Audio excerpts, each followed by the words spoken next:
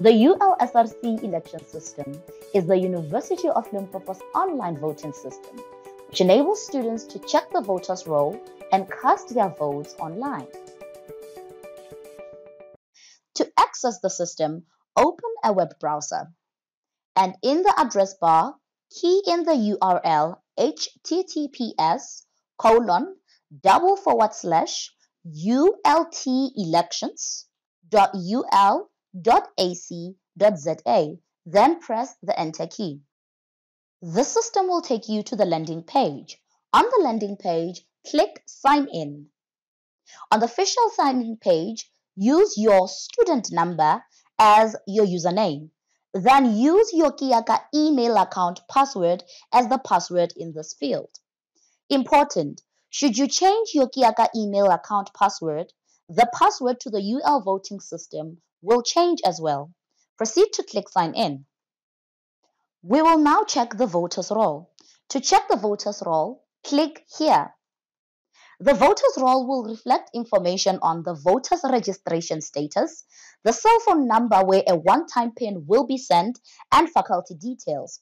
To check this information, click on Check Now. Ensure that the information in the voter's roll is correct. Should you need to change your current active number, interact with the ITS system, otherwise known as online facilities. If and when this information is correct, click the Back button.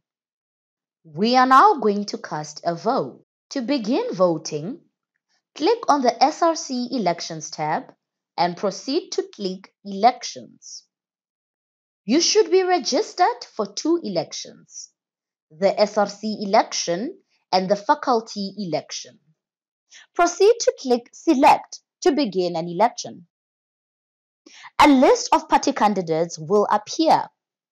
Proceed to click Select to choose a party of your choice. Ensure that the party logo and name are correct.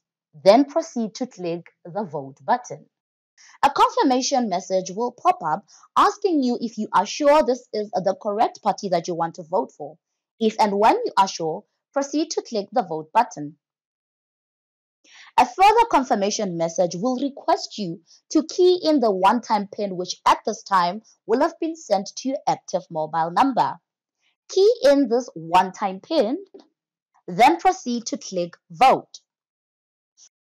You have successfully voted select the Close button.